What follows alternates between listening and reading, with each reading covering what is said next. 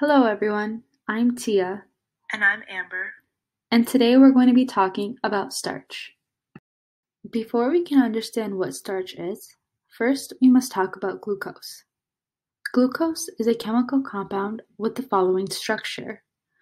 This compound contains six carbon atoms, 12 hydrogen atoms, and six oxygen atoms. Glucose is a Greek term for sweet, which makes sense because it is a basic sugar unit. This compound provides us with energy so that our body can move the way that we want it to. When we connect a bunch of glucose molecules together, we get starch. There are two kinds of starch, amylose and amylopectin.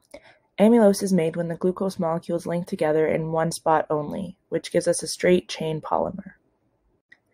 Amylopectin is made when glucose molecules link in two spots, which is how we get this branch structure.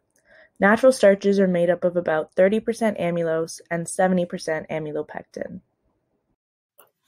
Now you may be wondering, well, where does starch even come from? The answer is plants. Plants produce glucose during photosynthesis and use it for energy so they can grow. Any excess glucose produced is stored in their leaves as starch so that they can save it for later. Plants can't store energy as glucose because glucose is water soluble, which makes it really hard to keep in one place. On the other hand, starch does not dissolve in water, which means it stays in one place until it is needed again. Industrially, we can get starch from plants by crushing or grinding plant parts and then mixing them with water. This makes a paste that can be purified and dried to obtain the final starch product.